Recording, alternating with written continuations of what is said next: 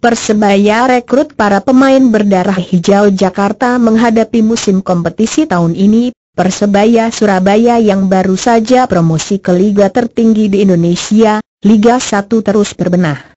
Sederet amunisi terus berdatangan untuk memperkuat baju hijau, termasuk mantan pemain timnas Indonesia U23, Fandi Eko Utomo. Persebaya tentu bukan klub baru bagi pemain berusia 26 tahun tersebut. Sebab ayahnya, Yusuf Eko Dono, merupakan pemain yang pernah jadi mesin gol baju hijau di era tahun 1990-an. Selain Fandi, amnusi anyar lainnya yang juga memiliki darah hijau adalah Stefano Alexander. Kiper muda ini merupakan putra legenda Persebaya, Ronald Peters. Meski terdaftar sebagai pemain magang, bukan tidak mungkin Stefano bakal masuk di tim inti. Menariknya, kedua pemain ini juga sama-sama berstatus putra daerah atau arak Surabaya asli. Selain mereka, juga masih ada nama Alter Daniel Irawan.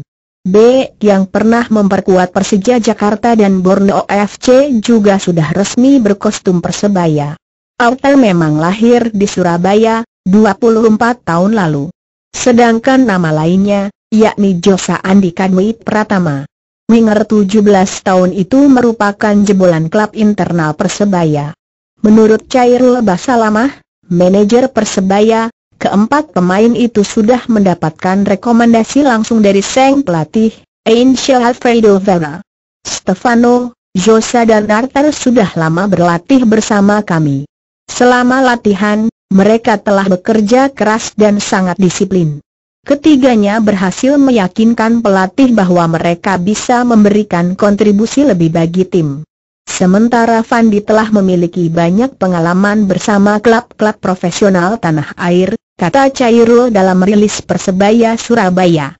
Altai Wirawan Alfredo Vera mengatakan, semua pemain itu punya potensi untuk dikembangkan. Sementara mengenai Arthur, Alfredo juga optimistis timnya bakal merasakan manfaat kehadirannya. Dia baru gabung dan butuh waktu untuk bisa belajar dengan sistem kami. Tapi kalau saya lihat, kualitas dia tidak jauh dengan pemain lain, dan dia bisa membantu tim, katanya. Lebih jauh, pelatih yang akrab disapa Abut itu menambahkan kalau Persebaya memang sedang membutuhkan banyak pemain muda potensial. Agar bisa tampil maksimal tahun ini, kami harus menyiapkan tim yang kuat dengan jumlah pemain ideal. Tim-tim lain di Liga 1 bahkan ada yang mempersiapkan dua tim menghadapi kompetisi tahun ini, kata Alfredo. Bukan hanya Persebaya. Sementara itu, bukan hanya Persebaya yang mempersiapkan tim berlapis menghadapi ketatnya kompetisi musim ini. Maklum, selain Liga 1, Kemungkinan juga ada Piala Indonesia, belum lagi agenda Asian Games 2018 yang memungkinkan klub kehilangan pemain. Persija, Bali United FC, dan Borneo FC juga menempuh cara yang sama.